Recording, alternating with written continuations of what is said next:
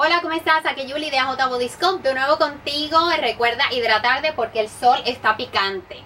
Bueno, esta semana te traigo squats. Squats, vamos a trabajar eh, con sentadillas que son squats, la parte del frente de los muslos y los glúteos. Vamos a endurecer esas nalgas.